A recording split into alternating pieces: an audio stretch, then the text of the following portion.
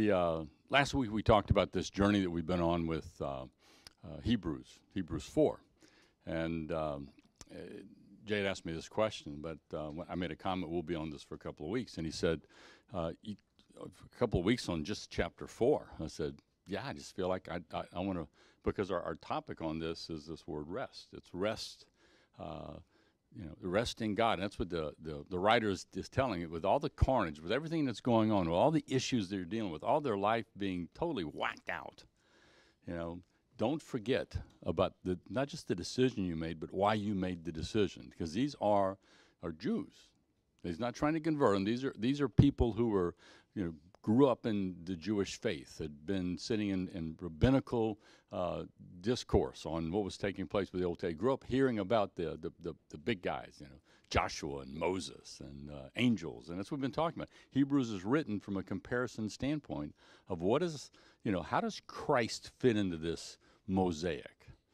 And so uh, I was so excited last week because I was able to say, you know, we were on chapter 14, and we finished chapter 14. So now it's time to move to chapter to, to, to excuse me, not chapter 14, chapter 4. You know, okay, so I stuck an extra number in front of it then. So, okay. There's not a 14. There's not a 14.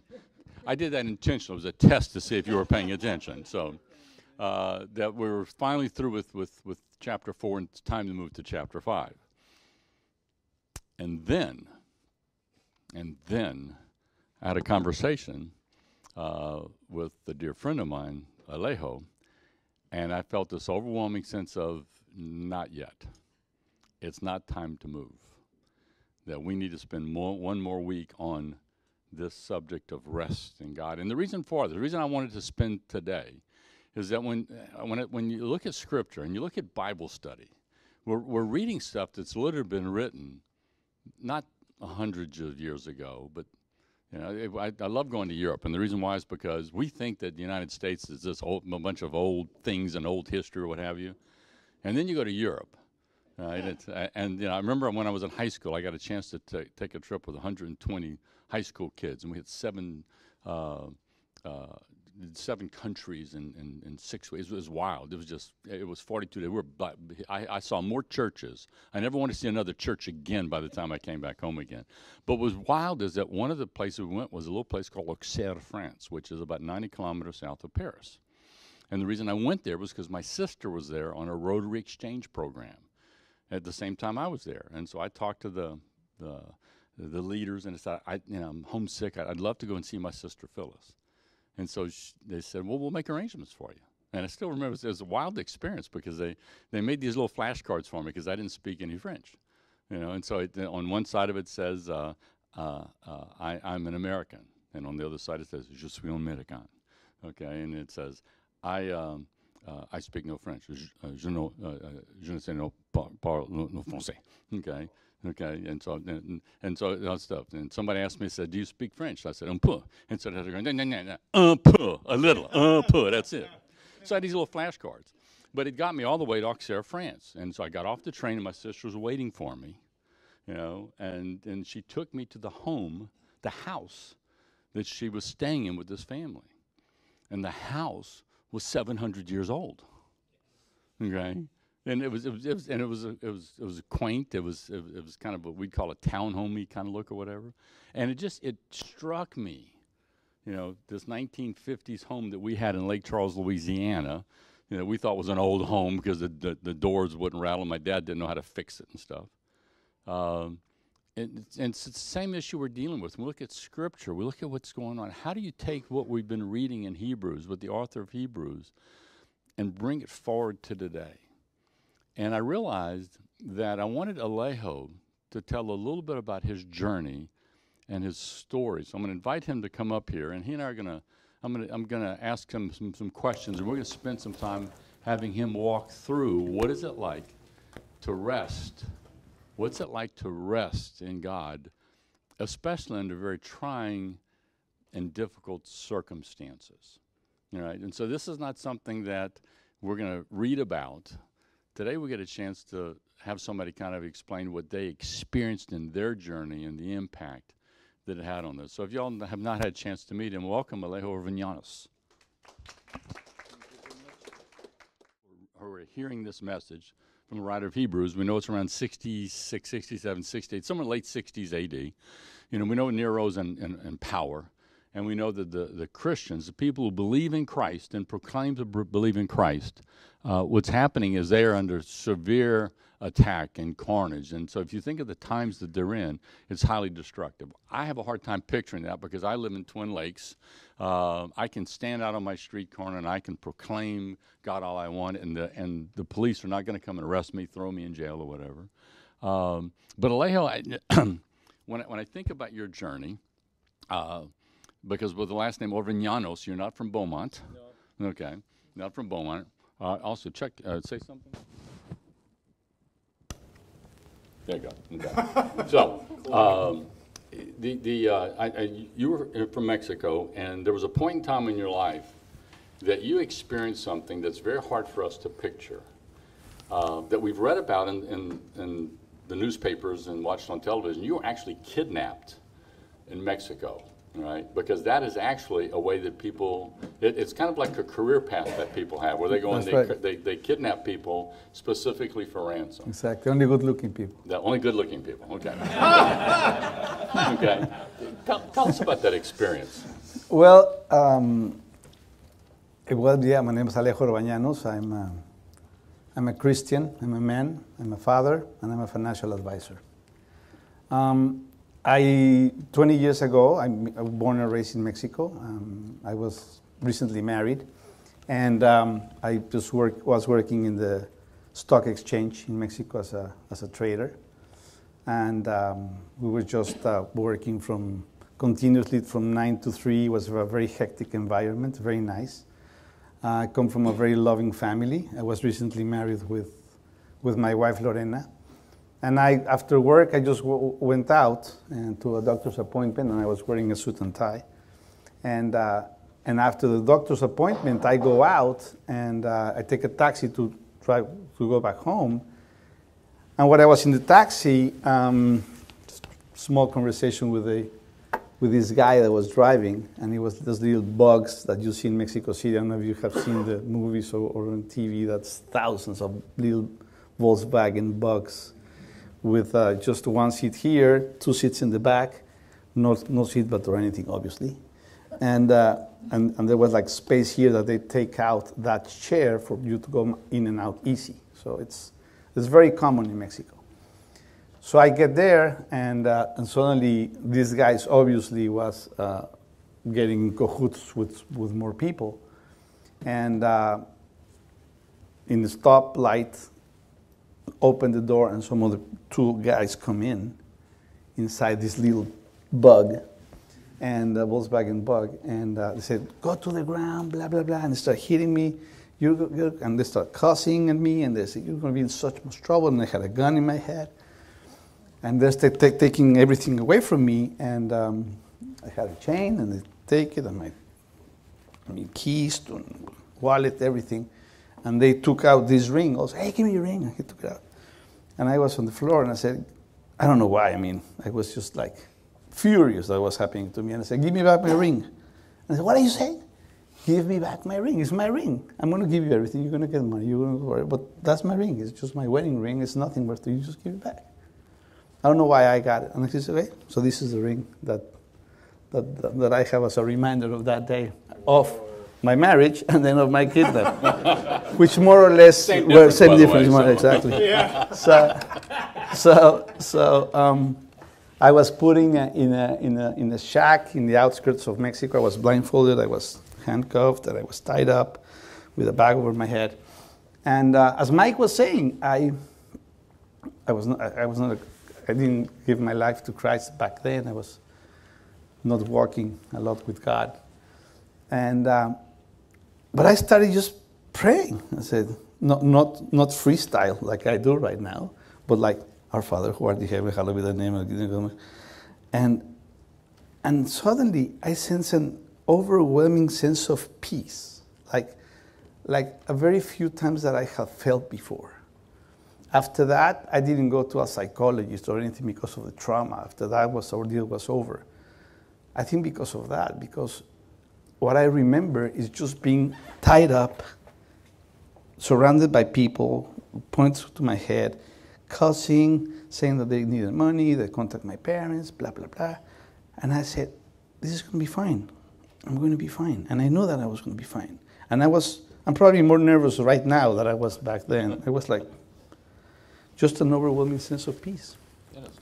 That is, that is amazing. Um, And uh, my understanding is while that was happening to you, Lorena Yes. is now with your family. Yes. Okay, they're coming Yes. together because the way this works is that they, they said, raise some money. Yes. Give us some money. When you give us some money, we'll free Alejo. Yes, exactly. That's Now, and my understanding, though, is in these circumstances, people that have been kidnapped, um, not all are released. no. M- many are many are kept for many many days, and there was a very famous mean guy called Mocha Orejas, because he used to uh, send you the ear of your loved one, just for you to pay more or whatever. So he, it's.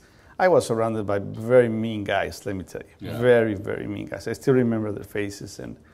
and I mean it was it was it was it was it was bad. Yeah. But but that's at that specific time also, um, Lorena also started saying this this, right. this, the, the, this sense of peace that said suddenly he, she started praying with my mom and I said and she said he's fine. He's going to be fine.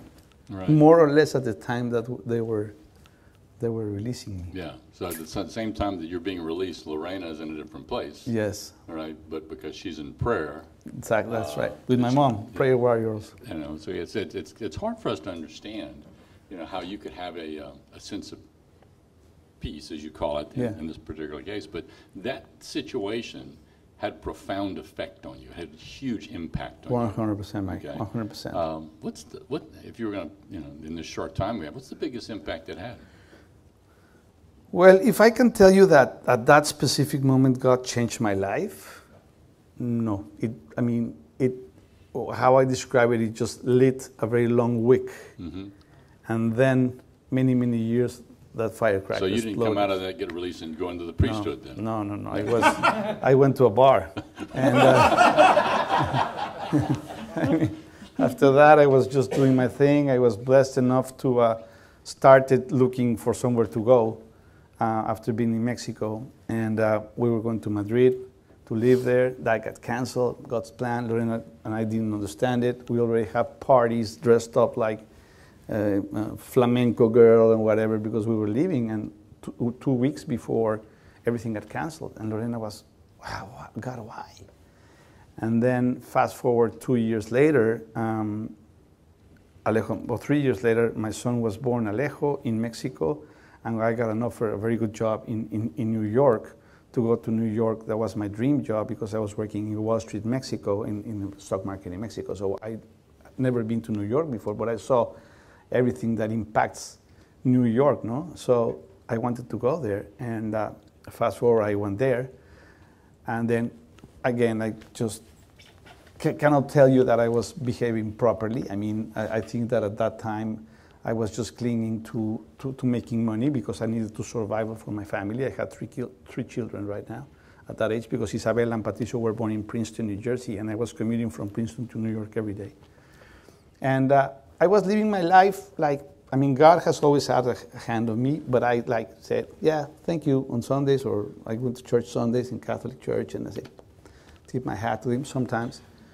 But I was just like in the hectic environment of anxiety, of money, of drinking, of partying, of going out, or maybe finding excuses to go out, maybe to some places, just because a client is coming also with me. Mm-hmm. So I was not, I, I was not living a, a, a, a very, um, the life that I'm living right now. Yeah, so That, what, that started to yeah, so, so, so what changed in this? It wasn't your circumstantial situation. No, no, because I mean, I, I then I went to Miami and I, the, the lifestyle in Miami, you, you know, you have seen it, and I was living that lifestyle also, and uh, Like Don Johnson. exactly Okay. the convertible and everything, and uh, and uh, but but again, that that that event led me to New York, led me to Miami, and then in 08, the the market crashed, and said, "Do you want to go to back to Mexico? If not, you, we're going to have to cut you off in in, in the work that I was doing." And I said, no, I'm not going to go back to Mexico. Thank God I had the green card, which is another topic. It's a super long process, and I, I'm super, super grateful for this country and everybody, what they did. And I pro legal immigration 100%. I mean, because it's, it's, it's, it's, this country is very, very fair in the amount of people that they bring, bring in. So I had, thank God, the, the, the green card, so I was able to uh, not work there anymore, take a couple of months off, and then I got an offer here to Merrill Lynch. So I started working Merrill Lynch 13 years ago. And then I started meeting, uh, meeting my friends and meeting people like, like Mike and people, people like David and people like, like Joe Calvert and, and the, so many people that I've met here in Houston that that started having a, a huge impact in my life. I said everybody was happy and everybody was, I mean, on fire and talking about God and reading the Bible. And I said, what's this about the Bible? And I've never read the Bible before. And, I, and, and in Mexico, nor in Miami, nor in New York, I, I, I didn't have one Christian friend. One, not even one. I didn't know what a Christian was. I didn't know how they looked. I didn't know how they talk. I didn't know.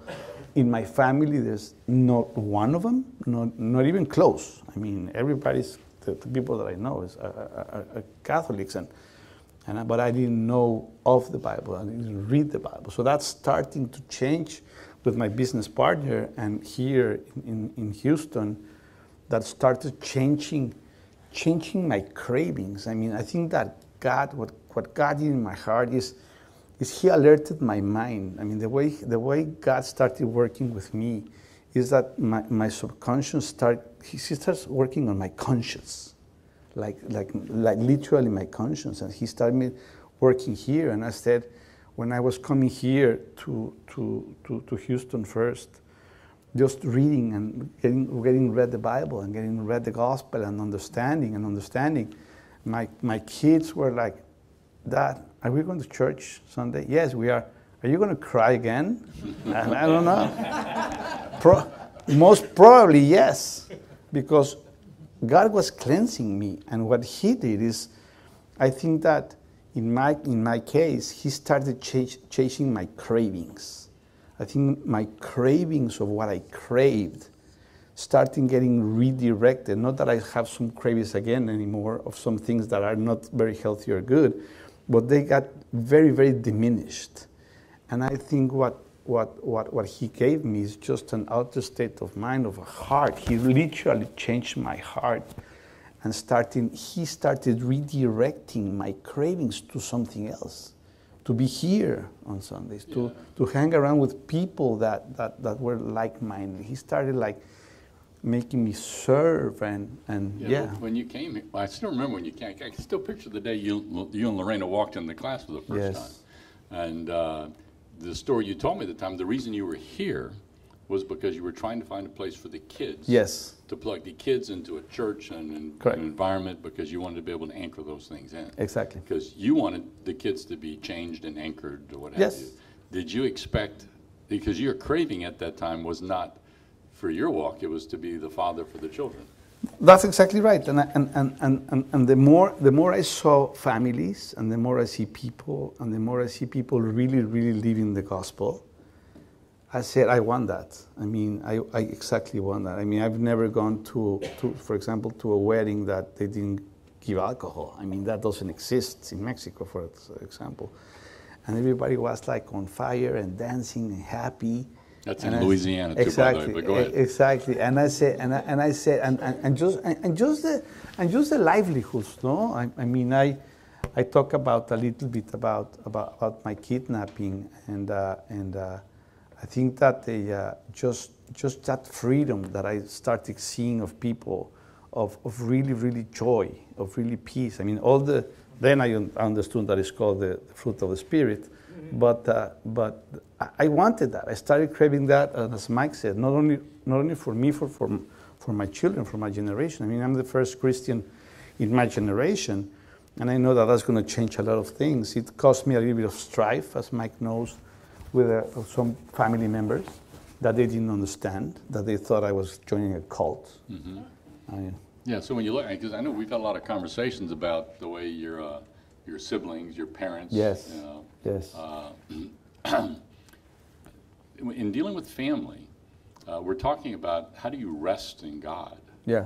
Um, that was that was a difficult thing for you to be able to do because the family dynamics of what you had to deal with. Yes. Yes. You know, what helped you? What helped you to deal with um, still being a loving, caring member of the family? Yes. When people had different views and perspectives than what you had now. Yes. Well, for me, I think it was very important um, as a visual uh, finding finding my sequoias. No, I think that uh, I went once to California and saw these sequoias, and I was huge, huge, huge, huge trees, but humongous trees. And the way they do, the, the roots are not very deep, but they're anchored with other sequoias. They anchor themselves. So the whole forest is connected Exactly, all the way across. exactly. So that when the winds come, the way they, they, they survive that is by being connected. So finding my sequoias, Mike, I think it was, it was key for me. Uh, like you, no? Sequoia, that, that, that starting just, just, it was no downside. I mean, it was, it was no, no turning back. I'm to walk. But the fortitude is started to meet people like Joe Calvert, like Fred Caldwell, like you, people that I started just living life with them. And, and, and, and, and I think that's why it's so important to have this, this kind of uh, groups because the church is, is, is living, the church is group of people, the church is interaction with people, the church is living life with others. So I think that it's not that it's substituted by any chance my family because I, again, I have a very, very loving family. What's changed in you, what you were sharing with me, is that your, your desires on how you want to be seen by others. That's right. The impact is uh, the, the kidnapping. Yes. It really changed you with that. In Yes. what way? Again, uh, when people uh, in Mexico, uh, everybody presents themselves and says, "Hey, I'm a licenciado, no? or I'm a lawyer, I'm this, I'm this and that," and I was playing that game, no? senior vice president of investments or whatever. Cool title. Yeah, exactly. Nothing. It's worth like CEO, CFO, whatever.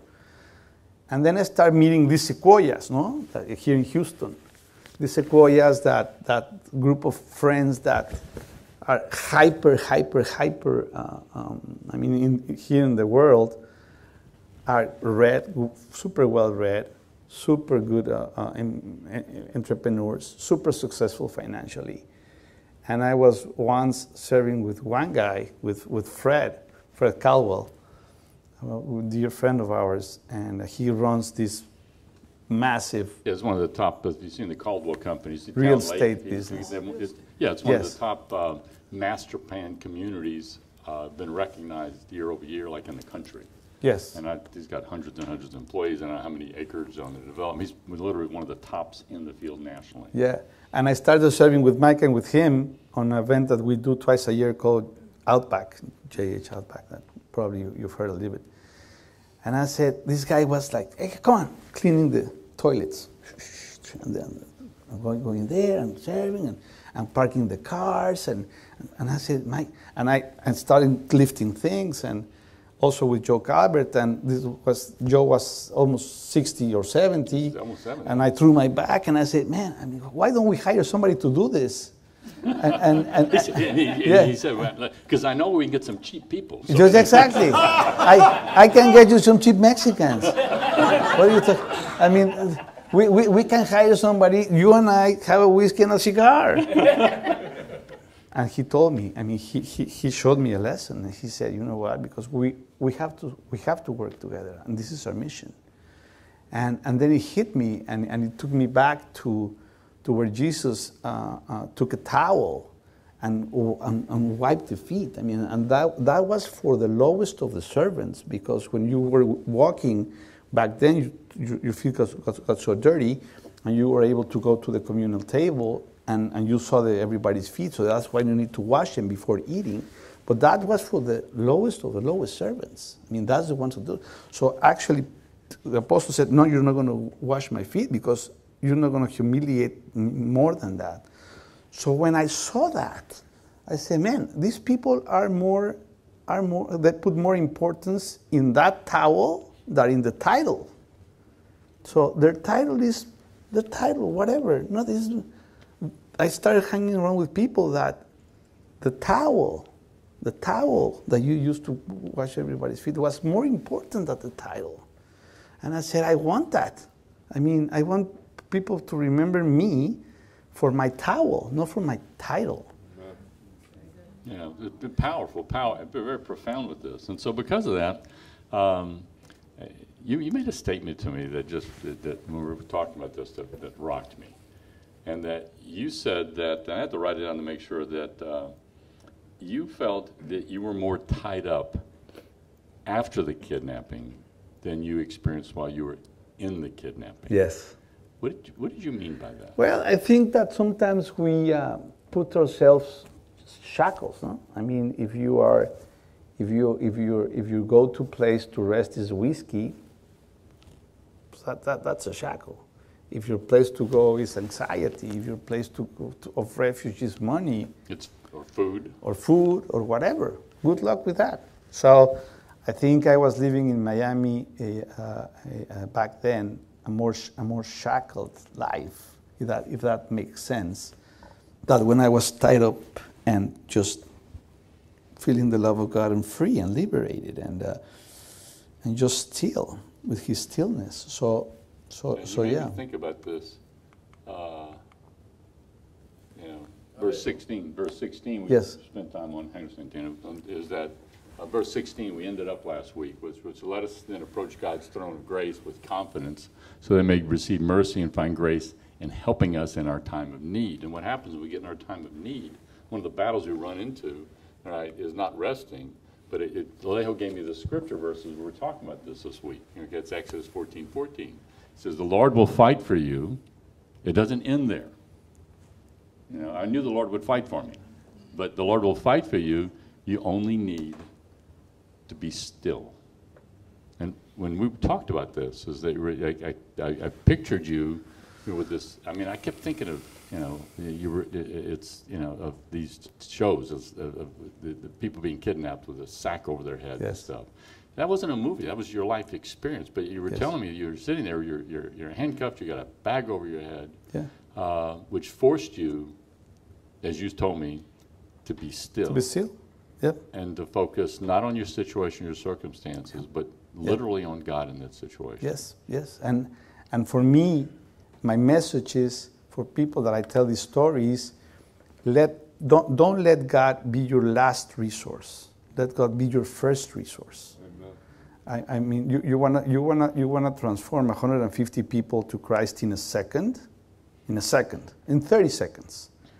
You put 150 people on a plane, put them 30,000 feet in the air, and dive that plane 30 seconds oh my God, please, I forgive me. you, you, you, so, so, so, so let, let God, yeah. let God be your first resource, not your last resource. Yeah, that's, I was talking to Bob Shally, who was uh, highly decorated Vietnam veteran. He wrote an amazing book on, on the Vietnam War. And uh, uh, he said, my wife is a zealot in her walk, uh, real strong prayer woman. Uh, I said, so Bob, tell me about your belief. He says, I have a belief that there is no such thing as an atheist in a foxhole. That's right. He That's said, right. And that's what he lived. Because I said, what was it like in Vietnam and the battles and the carnage? Because he was in whatever the, the, the, when you read about Vietnam and some of the more difficult, bloody, Bob was in those fights. You know, most gentle spirited guy you'd ever meet. Uh, he actually stayed in the military all the way to leading black ops things. And, we, and he talked about where faith comes into play. It's, a, it's just an important part of, part of, part of somebody's walk. So. Uh, let me, let me before we before we wrap here, uh, uh, let me open up the floor if, if anyone has any questions based upon this subject. I saw Tino's hand cam come up or whatever. We've got we've got time and I built this in or whatever. So okay, uh, Psalm 34 8 says, "Taste and see that the Lord is good. How happy is the man who takes refuge in Him." Hundred percent. So um, you you experienced a sense of peace, and then you went off to New York and, and Miami and all that. Did did you did you start craving that peace that you had tasted yes. during that, and, and how, how often did how did that play a role in, in you, you know, surrendering to God? Very good question, Tino. I should repeat it for people so yes. that who are listening on this. I mean, I've heard them. Yeah, that uh, the, uh, the, question of Tino is if, if, if, when I experienced that kidnapped in Mexico, that sense of peace that I was talking about, that did I, did I feel it or did I crave it or did I sense it throughout my, my life in Miami and New York? And the, and the answer is, is, is yes. I mean, I, I've always longed for it, longed for it, but I was seeking my refuge some, somewhere else, to be honest. I mean, I was, I was searching for that. I think everybody finds refuge in something. I was searching for my refuge something else. When I started to feeling it again, Tino, is here. When I pressed my life into the Bible, when I started to come into Bible, Bible study, Mike, Mike and Tommy has been a blessing in my life. That I can tell you, a blessing, big time. When I started understanding the Word, that's where I was weeping constantly on Sunday services because I, that, that feeling, I started to remember that feeling again of the Holy Spirit moving in my heart. That now I know that the Holy Spirit was protecting me back then. So the, the, the issue about my kids asking me to cry, the emotion is, is like I was crying out of love. I mean, because I was overwhelmed by this power, overwhelming sense of joy that God, God has given me. But yeah, Tino, I mean, it's, it's until I started turning those cravings, turning my life around, gave my life to God, get baptized, that I started really feeling that thing that I think we are designed for that. I think God made us to be able, for Him to be able to love on us. We're designed for that, I think. That we, we are the only creatures in, in the universe, in the, and, the, and they keep exploring more and more and more, and we are just in a speck of, of this world. We're here, and we're His joy. So, yeah, very good question. I, I, I think we're designed for that. I, I think deep inside we long for that love of the Father. Yeah, and, and uh, because I'm familiar with your journey, because we've talked about this many times. It wasn't like he came out of the kidnapping and all of a sudden saw it, and the next day, you know, something took place. It was a process. It was a journey. It was an uh, uneasiness in his walk. How long did it take for that? Well, I was kidnapped in 2000 and um, I started coming here 13 years ago. So um, took, took took a long time. Took a long time. Hang on, I'm catching up with Yeah, you. it's like eight, nine years. Yeah. Yeah, Steve. Yeah. Oh, I was just gonna ask, so after you got free, what kind of struggles with forgiveness did you have with the uh, kidnapper? Did you even think about it? Did it Well, just flush out? or- Yeah, so forgiveness would be a good question with that. So what she was asking is, uh, what, you know, when, when you came out of that, you've been Yeah. held in a real dire situation. Uh, Makes sense, there would be anger and stuff that would, would come out of that. How did you, That's a, that's a very good question, and it's, a, it's going to be a hard answer eh, because, but, but I'm going to be 100% honest. Um, I started being like very careful with people like look like that, and that's and that's honest. At the beginning, um, the the people that hijacked me look like like the typical uh, Latin American soldier. So I think they were soldiers. So even when I was walking in a, in a store and a guy that looked like that approached me, I was like, hey, hey, hey, stand, stand back. And that thing is, is a natural defense. But through the process, I already forgave them because they don't know any better. And, uh, and, and, and again, I also didn't know any better. So when people are lost, they're lost. I didn't have any guidance when I was very young. I had guidance from my mom and dad, but I didn't have a, somebody that read the Bible to me. So I, I was also in, in, in, in there. So, so now I see that the power of prayer and not just spreading the gospel can change lives. Mm. So they don't know any better. It's, I'm not making an excuse for them, but that's how I feel right now. That they don't know any better, that maybe the devil has them in their mind or they're in drugs or whatever.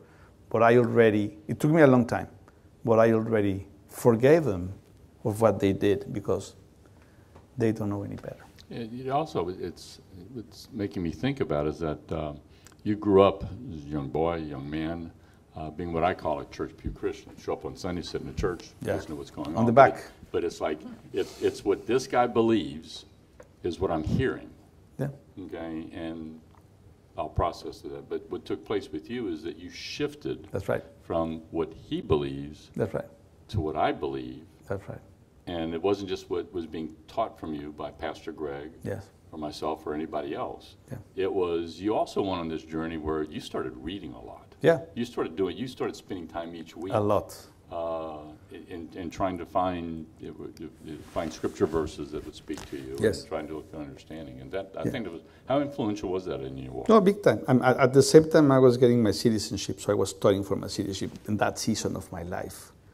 And I went deep into the history of the United States and deep into the history of just uh, uh, Anglo-Saxon Protestant history of this of this country. And I figured out that they put "In God We Trust" in the currency not 150 years ago, 70 years ago with Eisenhower. There was not there, they put it there with Eisenhower, not before, with Eisenhower. A lot of people don't know. Mm-hmm.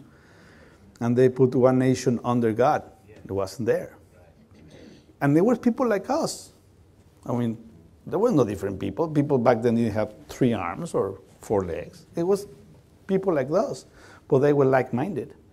And something triggered them to say, why don't we put this on the currency? And, they, and everybody voted yes. Why don't we include one nation under God in the, and people said yes.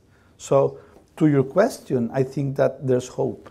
And there's hope. There's hope for everybody. There's hope for me, and there's hope for the people that kidnapped me via the word, via reading, via not only understanding the truth, but talking about it and spreading the truth more and more in these times. No? Super. Yep. I'm going to ask, how long were you captive and how did it come about that you were released? I was, yeah, I was, it was a, quite a story, and uh, was, so was some money exchanged, and I was released. So how, so how long were you actually held captive? Uh, it was like a day and so.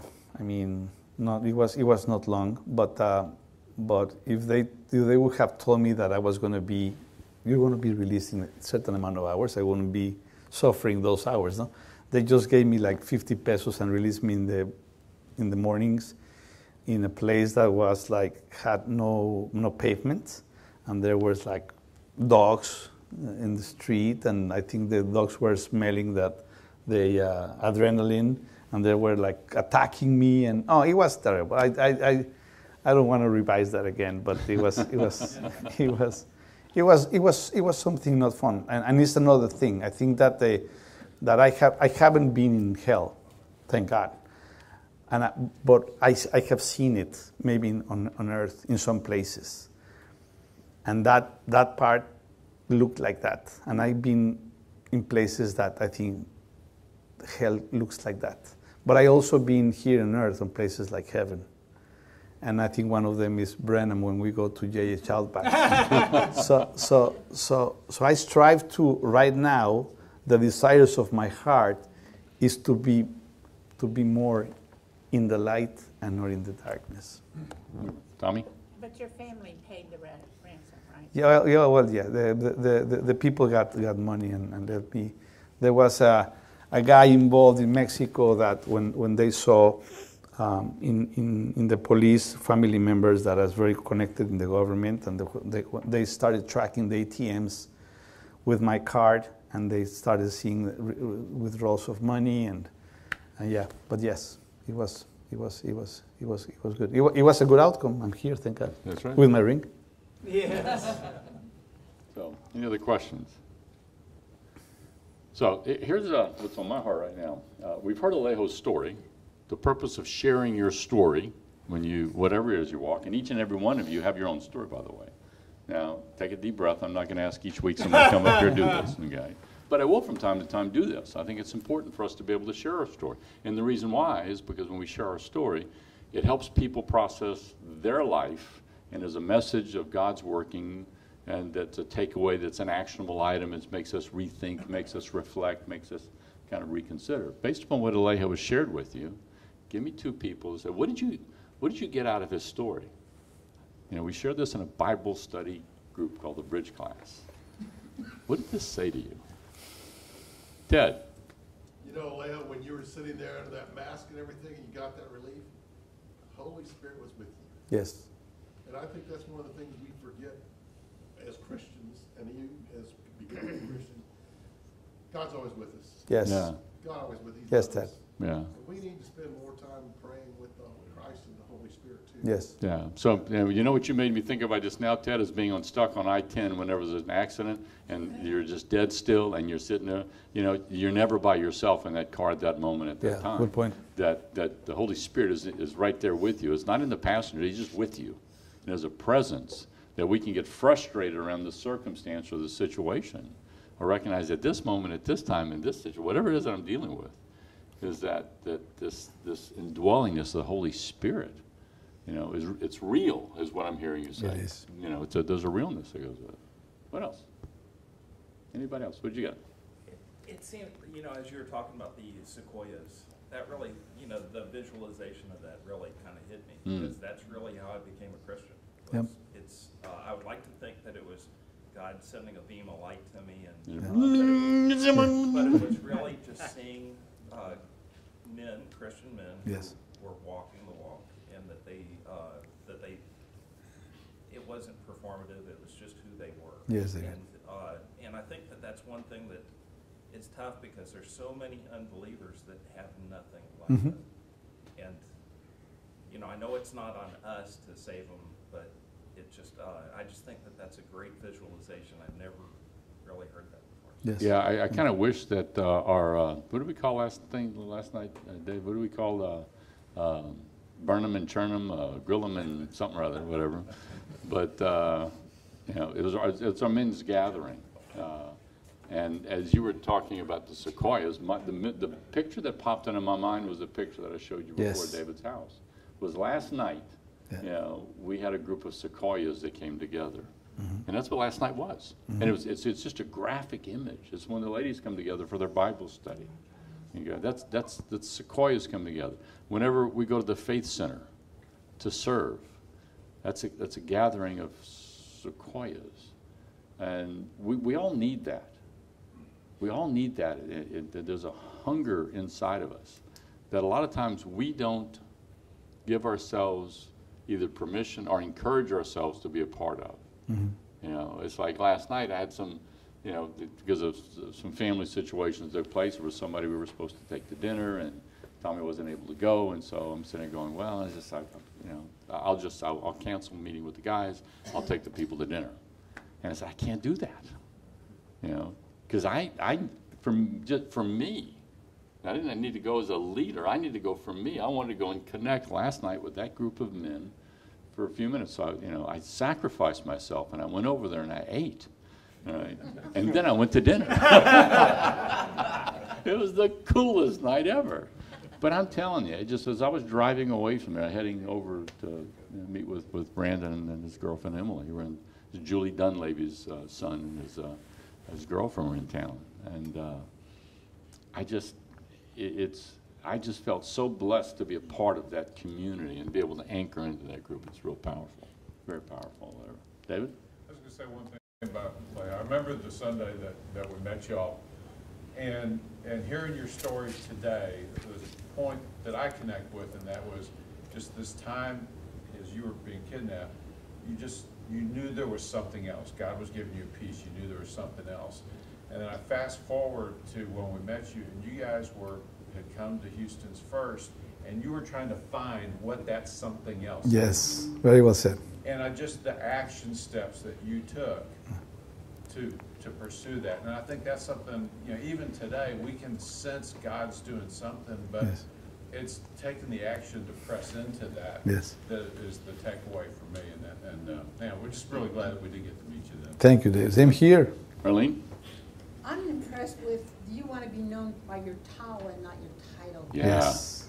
Yes. Uh, And that's mo- and- and that's most of the people here. eh? I, I, I, I can tell you. I mean, Right. the, the, the, the Christians and the Christians how they walk, and not, not only how they talk, but what they do. It, it, it, it blew me away. It blew me away. And, and it wasn't, it wasn't the Yes. title of being a Christian that blew you away. No, no, no. It was the action that you saw and how they the used towel. their towel. Yeah, exactly, exactly. I, and, and I didn't see that before, and I didn't. I mean, we did serve in Mexico, and we served the poor. And when I was very young, we did go out and serve and serve and serve. For, but it was more on on a, on, a, on not as deep, not as powerful, not as loving as I see it here. You, you, you change hats really quick. Yeah, and let me, let me, let me kind of edit Good- that. very ju- good point. Let me edit that just a little bit, because what happens is when we get into these discussions, sometimes we, we get into discussions of something is bad and something is good. Yeah. And that's not what we're talking about here. You had parents who were church people that were 100%. involved in church, who were going to walk, and you had a Love give. good sort of foundation when it comes to your, your, your church life, your. That's what I hear. That, that's it. So I mean, it's a, it was a foundation. But what takes place is, and this Hebrews uh, is, is especially chapter four, not chapter fourteen, chapter four, uh, specifically com- does a comparison, not of what's bad, but as good as all of these things are, look how much Christ is better, is stronger, is greater than. And that's what, what I'm hearing you say, is that this, it, it, it's not like you ran away from, you know, you weren't on the street, you know, shooting crack into your arms, at least you haven't shared that part of your life with me. Uh, You know, that, that wasn't your walk, you know, there's no financial malfeasance that's going on. Nothing. You had a, you, you had a, a good life. Fantastic and- family. And you also have been a good guy. When you and I've talked about this, you've been a good guy, you know, since you were little. That's, that's kind of your, that's why people are drawn to you, because you're just a good guy. But there's a light that is inside of you now that Yeah. burns even more brighter Yes. than that, that good guy thing. And that's, you- that's the walk of, of- of your faith or whatever. And so, one of the things that's important to me every Sunday to do is that we spend some time talking about things. I, I want to make sure that we do this uh, from a scripture standpoint. These are two scripture verses that Le- Alejo and I've talked about over the last uh, week and a half. You know, it's, uh, first of all, First Thessalonians, okay? Uh, 5, 16 through 18. Rejoice always, and this is what we've been talking about today. That in the middle of circumstance, situations, life situations, okay, rejoice always. And we think, how in the world can I rejoice when I'm stuck on I-10? Or when, you know, when I open my checkbook and I see how little is in there? It doesn't say be happy, it just says rejoice. And I'm telling you, when that sack was over Leo's head, he wasn't going, yay, thank you, Lord, okay? But rejoice always. It's, it's, it's the word rejoice, joy's in the center of it. And joy only comes from connection with God. Second was pray continually. That's easy for me to picture Leho praying continually with the sack over his head. But the question is in 2022, each day do you walk up, how much time do you spend throughout the day in prayer? I'm not talking about on your knees wearing a hair shirt like some of the monks used to do in, in olden times. Uh, but I'm talking about is before you go into a meeting, do you stop and pray? Not for you, but for the, the person you're going to be meeting with. Do you stop and pray for God to be able to use you to, for Him to receive glory when you're in the che- checkout line? That may be, um, you may think that's facetious, but when you walk in the grocery store, you may cross paths with somebody that you get to simply have an opportunity to go, hi. And, and that hi and that smile is, is enough to have an impact on somebody else, and we, we, we diminish that. And the last thing is, is that to give thanks in all circumstances. And what's most important is that last clause we have a tendency to drop. All right? For this is God's will for you in Christ Jesus. I think uh, one of the things that I realized in listening to Alejo is that the Christian walk is a process. We know that. And it's interesting to see your process, and I've been able to see it because we're friends with your family. And your legacy is the most important thing is That's your right. children. That's right. And we have watched them, we've prayed for them, we've gone through their walk, and they are amazing Yes. Christians. Yes, thank you, Tommy. Thank God. That's because of the change that you had in your life Mm. and your commitment to the Lord, which they saw, getting them here every Sunday. It was a struggle getting teen- teenagers to church. Mhm. But you did, Yes. and they changed. Yes, yeah. Because God took a hold of their life and changed it. Mm-hmm. Did something And about it gives me great joy to see what beautiful adults, they're big- young adults, that they are today. Move Thank you, Tommy. Do that then. So, and here's the Thank other ver- the thing, it's Philippians four, six through seven. Larry actually sends this to me every now and then, because it just, it has huge impact on you. It says, do not be anxious about anything. He knows I need to hear that often, because of the battleground that I, that plays in my mind. It's not out of choice, it's just life for me. But I recognize that the ground that I play in is I, it's, I have to be reminded, do not be anxious about anything, but in every situation, by prayer and petition, with thanksgiving, present your request to God. And it doesn't stop there, okay? And the peace of God, which transcends all understanding. And that's what I wanted us to end on today. What happens is we look and process life through our understanding, the way we see things. And for me, I know that when I look at stuff, I still sometimes process things through the eyes of a 14 year old because of stuff that happened when I was 14. And so the brain gets locked back there. Mm-hmm. All right? And then fortunately, th- there's a maturity that takes place. And Leo's a perfect example of this maturing. He sees things differently today than he did when he was 14 in Mexico because of this maturing that takes place. But he still, this day, I still, all of us have to watch out to is that it transcends our understanding of what God's capability is in our life.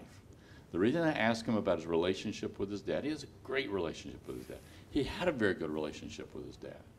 But there were obstacles and things that, that, that he wanted more from, and, and he couldn't see how that could possibly be. And I still remember the phone call you and I had when you were in awe of this love that was poured into me. I still remember the day my dad sent me a letter that Tommy asked him to write when she and I went to the J Ranch out in California. She, she hammered my dad for, I don't know how long, a month or so, whatever. But she got it, my dad, the only letter I've ever received from him. Yeah. Right? And I, I, I, needless to say, that letter sits in a very special place in my office, in a, in a folder, in a notebook behind me. Right? Bec- And, and, and, and I never believed my dad would have, be, be able to find ways to express his love for me in the way that he did. It's a profound, profound day. There's a healing that comes in as this. But, but those things, the peace of God will guard your hearts and your minds in Christ Christ Jesus. So Heavenly Father, we thank you, Lord, for this gathering of amazing hearts and minds that are, that are, that are thirsty to have your word speak to us. In some way, sometimes, and sometimes the most important way it speaks to us is the people, the sequoias that uh, Alejo uh, has, uh, has referred to this day.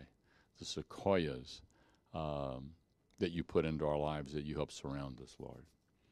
But Father, I just, I, what's on my heart right now is help us to realize that other people look at us as their sequoias.